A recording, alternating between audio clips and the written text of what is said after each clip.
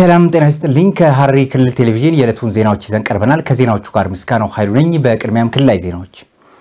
በታላቅ ድምቀት የሚከበረው የቁልቢ ገብርኤል በዓል ንግስ ያለምንም የጸጥታ ችግር እንዲከበር ለማስቻል የቅድመ ዝግጅት ተግባራት አጠናቆ ወደ ስራ መግባቱን የሐረሪ ክልል ፖሊስ ኮሚሽን ገልጿል።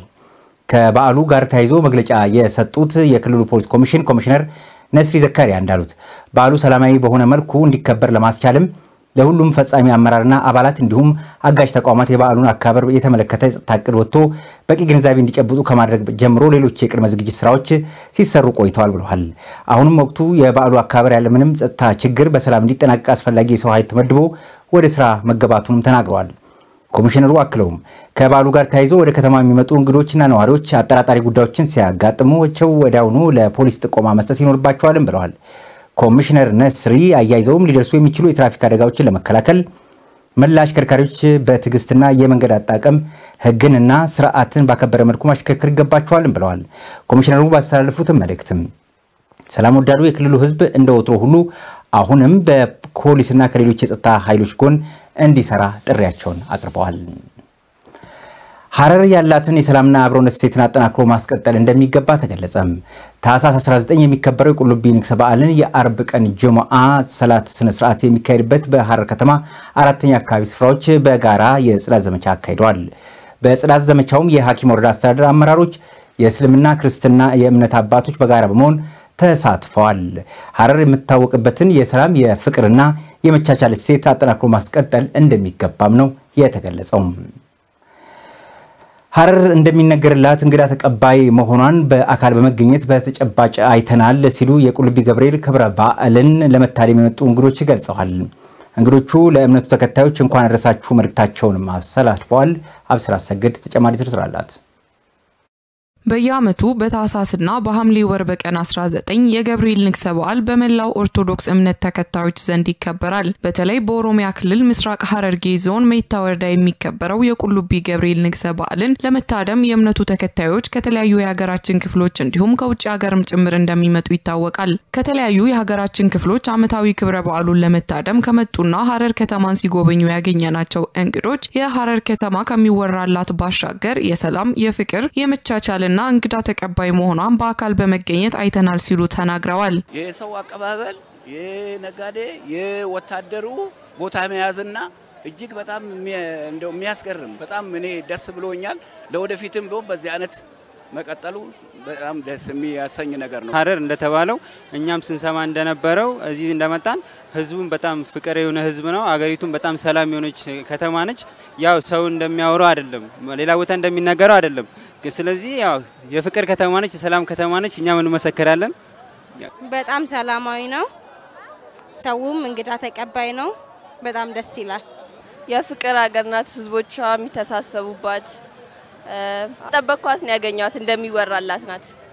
በየአመቱ ስንመጣ ሐረር በጣም እንግዳ ተቀባይ ናት እንደተባለው እንደውም እኛ ስንመጣ ወደዚህ የሰላሙ ጉዳይ በጣም አስጊ ነው የሚባል ነበረ።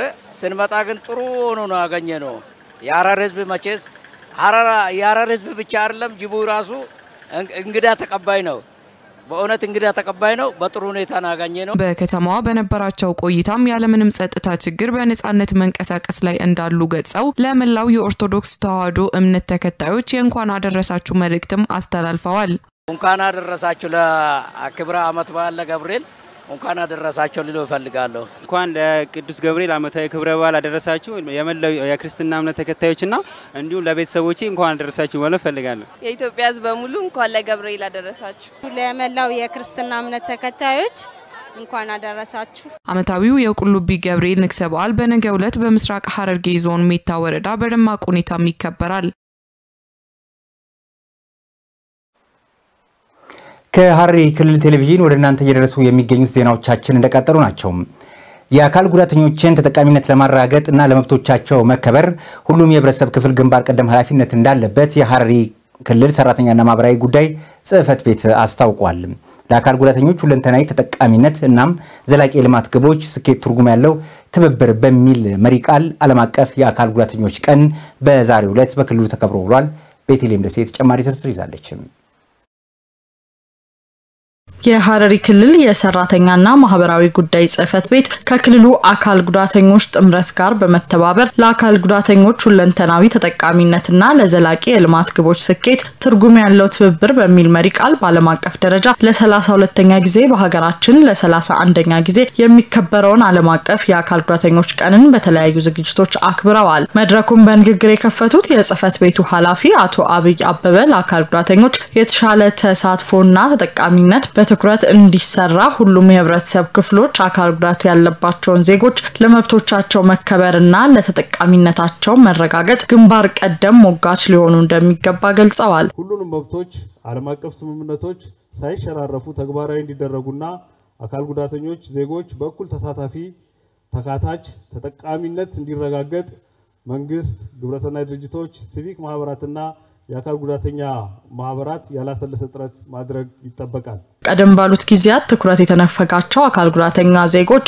በሀገራዊ የልማት የኢኮኖሚና ማህበራዊ እናም ፖለቲካዊ ጉዳዮች ላይ ተሳታፊ እንዳይሆኑና ለሀገራቸው ማበርከት የሚችሉትን አስተዋጽኦ እንዳያበረክቱ ማድረጉን ተናግረዋል። በበርካቶች እልህ አስጨራሽ ትግል በአሁኑ ወቅት ለውጥ የታየበት መሆኑን ገልጸው የመሰረተ ልማት ግንባታዎች አካል ጉዳተኞችን ታሳቢ ያደረጉ እንዲሆኑ ማድረግን ጨምሮ አካል ጉዳተኞች በሁሉም ዘርፍ ያላቸውን ተሳትፎ ለማሳደግ በትኩረት ሊሰራ እንደሚገባ አቶ አብይ ተናግረዋል።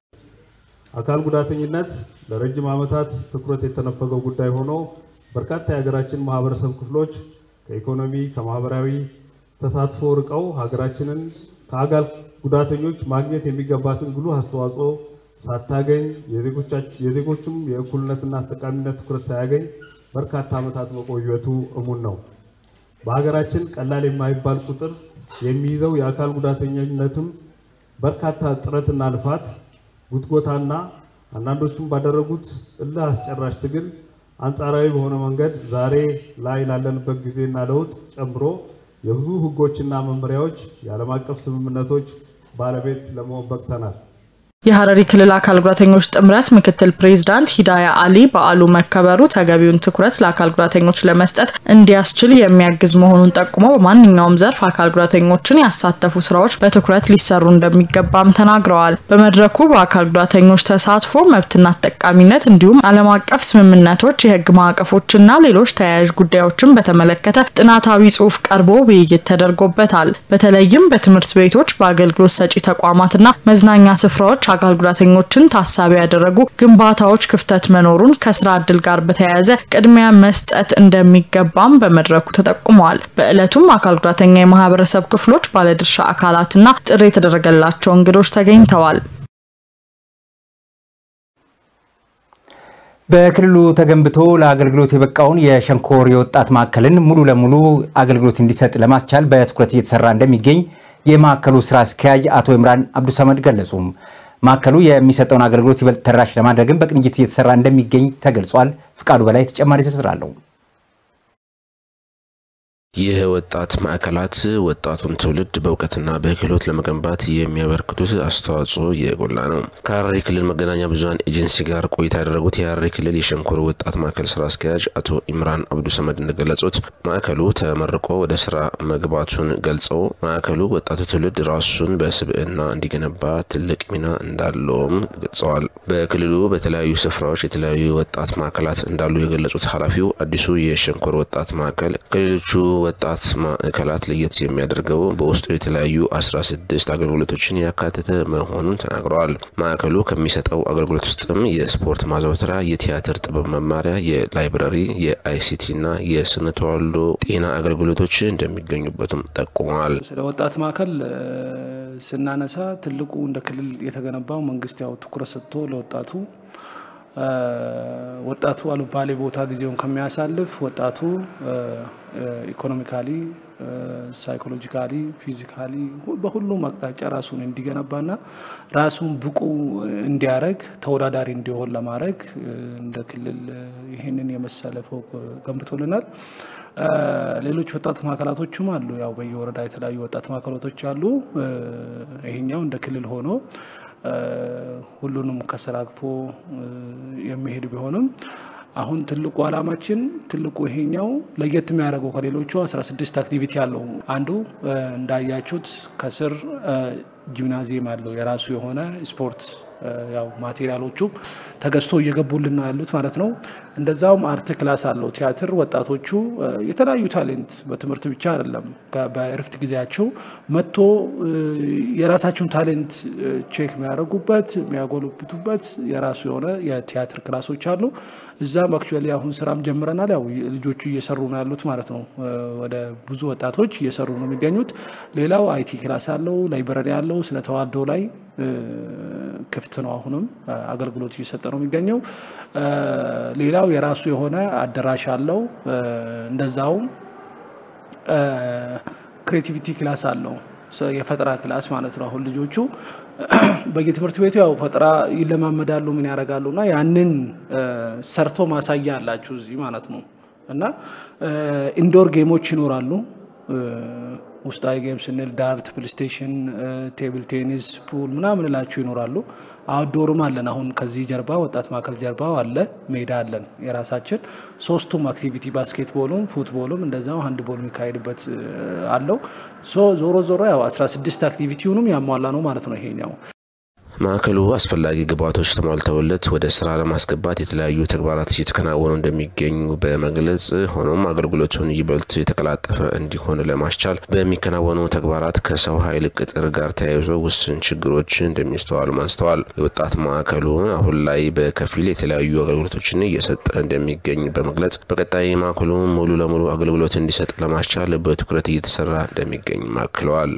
ክልሉ ባጀት ተበጅቶለት የ capital budget material ኦቹን ለማሟላት በግዢና ፋይናንስ ያው ነገሮቹ እኛ specification ኦቹን ምናምን አውጥተን እንልካለን። በግዢና ፋይናንስ ያው እቃዎች እየወጡ ይህንን አሁን እኔ የተቀመጥኩበት ጠረጴዛዎቹ እኔ ከመጣሁ በኋላ የመጡ ናቸው ሁሉም ማለት ነው እነዚህ እንጂ ባዶ ባዶ ነበረ። ያንን ከስር ከስር እቃዎች እየገቡ ነው ያሉት ማለት ነው። ዞሮ ያው አሁን አንድ challenge ያጋጠመን challenge ኦች አሉ እንደ ክልል ወይ ደግሞ እንደ ሀገር አቀፍም መዋቅሮች እየተሰሩ ነው። በተለይ የ civil servant እየተሰሩ ነው እና ከዛ አንጻር ቅጥር የለም። ይሄ ወጣት ማዕከል አሁን አንድ ተቀጣሪ ሰራተኛ የለውም። ያለን አማራጭ ምንድን ነው? ጊዜያዊ solution ብለን የወሰድነው ከሌሎች ከሌላ ቦታ ይሄ ቤት በቦርድ ነው የሚተዳደረው። ተጠሪነቱ ለቦርድ ነው። ሴቶችና ህጻናት ደግሞ የቦርዱ ኃላፊ እነሱ ናቸው ማለት ነው መሪው። ለዛ ቦርዱ እየረዳን ቢያንስ ሰራተኛ በውሰት እየሰጠን ይህንን ቤት ወደ ስራ ማስገባት አለብን ተባብለን ቢያንስ በውሰት ሰራተኛ አምጥተን ነው እየሰራንበት ያለው ማለት ነው። actually ግን አሁን ወደ ማጠናቀቂያ አካባቢ ነው ያለን። ሁሉም material ኦች ወደ ከጨረታ አሸናፊዎቹም እየታወቁ ነው የሚገኙት። ከስር ከስር እየገባልን ነው ያሉት ማለት ነው። ዛሬ ራሱ የሚገቡ እቃዎች አሉ። ሶ እነዚህ ሲያልቅልን ቀጥታ ወደ ሙሉ ለሙሉ functional ሆኖ ወደ ስራ ይገባል ማለት ነው። ወጣቱ በማዕከሉ በመገኘት የተለያዩ እውቀትና ክህሎቶችን በመቅሰም ለራሱም ብሎም ለሀገሩ የሚያበረክተውን አስተዋጽኦ ማሳደግ እንደሚገባውም ኃላፊው አመላክተዋል። actually ያው እንደ ሀገር ያሉ ችግሮች ይታወቃሉ። ከስራ አጥነት ጋር የተያያዘ ብዙ አይነት ነገሮች አሉ። ወጣቱ ቤት ውስጥ መቀመጥ የለበትም። የተመረቀም ይሁን ተማሪም ቤት ውስጥ ያው ስትቀመጥ ብዙ ነገር stress ውስጥ ትገባለህ። ባይዞ ተመርቄ እንዴት እንደዚህ ምናምን የሚለው ነገሮች ይኖራሉ። እንደዛውን ተማሪዎች ደግሞ talent ባይዞ በትምህርት ብቻ አይደለም የተለያዩ ፈጣሪ የሰጠን እኛ ክህሎቶች አሉ።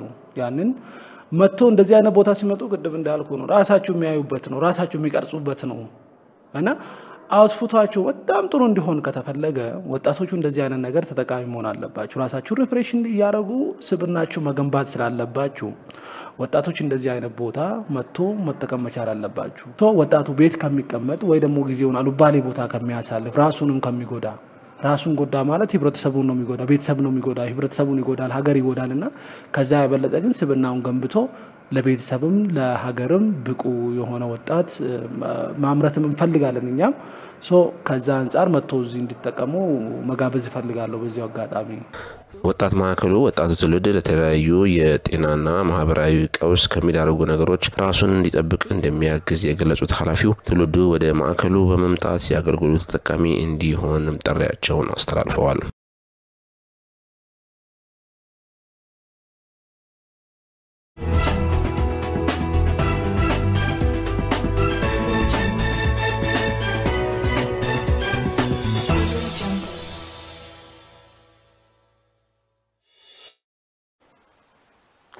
ከሐረሪ ክልል ቴሌቪዥን ወደ እናንተ እየደረሱ የሚገኙ ዜናዎቻችን እንደቀጠሉ ናቸው። ወደ ሀገር አቀፍ ጉዳዮች አለፍን።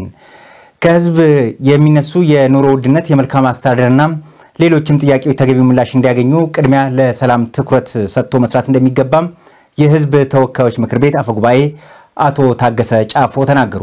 በሌላ ዜና በ2016 በጀት ዓመት አምስት ወራት ውስጥ 139560 ዩኒት ደም መሰብሰቡን የኢትዮጵያ ደምና ህብረ ሕዋስ ባንክ አገልግሎት አስታውቋል። እነኝህና ሌሎች ሀገር አቀፍ ዘገባዎች በተከታይነት ይቀርባሉ። ከህዝቡ የሚነሱ የኑሮ ውድነት፣ የመልካም አስተዳደርና ሌሎች ጥያቄዎች ተገቢውን ምላሽ እንዲያገኙ ቅድሚያ ለሰላም ትኩረት ሰጥቶ መስራት እንደሚገባ የህዝብ ተወካዮች ምክር ቤት አፈ ጉባኤ አቶ ታገሰ ጫፎ ተናግረዋል። የምክር ቤቱ 13 ቋሚ ኮሚቴዎች የሁለት ወር አፈጻጸም ከአስተባባሪ ኮሚቴ ጋር በመሆን ግምገማ አካሂደዋል። በዚህ ወቅትም ለሁሉም ጉዳይ መሰረት የሆነው ሰላም ላይ ትኩረት አድርጎ መስራት እንደሚገባና ሁሉም የበኩሉን አስተዋጽኦ ማበርከት እንዳለበት የምክር ቤቱ አፈ ጉባኤ አቶ ታገሰ ጫፎ ተናግረዋል። ለዚህም ትልቅ አስተዋጽኦ ያለው የብሔራዊ ምክክር መድረክ ቶሎ ወደ ስራ እንዲገባ አስፈላጊውን ድጋፍ ማድረግ እንደሚገባ አስገንዝበዋል። የህዝብ ተወካዮች ምክር ቤት ምክትል አፈ ጉባኤ ወይዘሮ ሎሚ በዱ በበኩላቸው በክትትልና ቁጥጥር ስራ የመጡትን ለውጦች በመገምገም ተጠያቂነት ያለው አሰራር እንዲኖር ማድረግ ይገባል ብለዋል። የምግብ ዋስትናን ማረጋገጥ ለሰላም ትልቅ አስተዋጽኦ እንዳለው በመግለጽ በቀጣይ የአፈር ማዳበሪያ ተጠቃሚው በአግባቡ መድረሱን ማየት ይገባልም ነው ያሉት። የህብረት ስራ ማህበራት የኑሮ ውድነቱን ለመቀነስ የሚያግዙ በመሆናቸው ትኩረት ሰጥቶ ሊሰራባቸው እንደሚገባም አመላክተዋል። alls.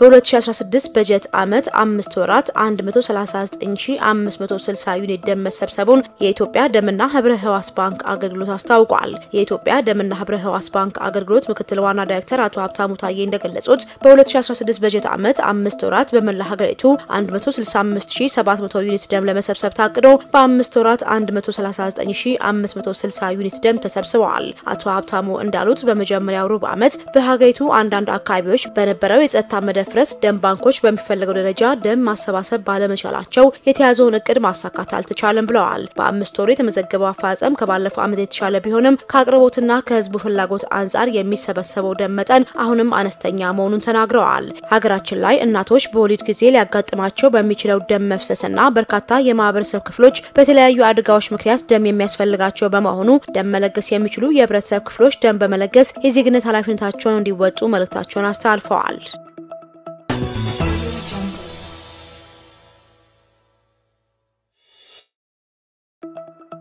የኢትዮጵያ የኢንዱስትሪ ፓርኮች ልማት ኮርፖሬሽን ካሉት 177 ሼዶች መካከል 157ቱ በኢንቨስተሮች መያዛቸውን አስታውቋል። አምስቱ የኢንዱስትሪ ፓርኮች ሙሉ በሙሉ በአልሚዎች መያዛቸውም ተገልጿል። የኮርፖሬሽኑ ዋና ስራ አስፈጻሚ አቶ አክሊሉ ታደሰ ከዚህ ቀደም በኢንዱስትሪ ፓርኮች የሚገኙ አብዛኛዎቹ ሼዶች ክፍት እንደነበሩ አስታውሰው አሁን ላይ ኮርፖሬሽኑ በኢንዱስትሪ ፓርኮች ውስጥ ካስገነባቸው 177 ሼዶች ውስጥ 157ቱ በኢንቨስተሮች የተያዙና የተቀሩት 20 ሼዶችም በአዲስ ኢንቨስት ኢንቨስትመንት እንዲሞሉ በከፍተኛ ጥረት የተሰራ መሆኑን አመላክተዋል። እንደ አቶ አክሊሉ ገለጻ ኢትዮጵያ ከአገዋ ቀረጥ ነጻ እድል መውጣቷን ተከትሎ ካለፈው አንድ ዓመት በፊት በርካታ ኩባንያዎች የኢንዱስትሪ ፓርኮችን ለቀው ቢወጡም በኮርፖሬሽኑ በተሰራው የገበያ ማስተዋወቅ በሀገሪቱ ከሚገኙ 12 የፌዴራል የኢንዱስትሪ ፓርኮች ውስጥ አምስቱ ሙሉ በሙሉ በኢንቨስተሮች መሞላታቸውን ገልጸዋል።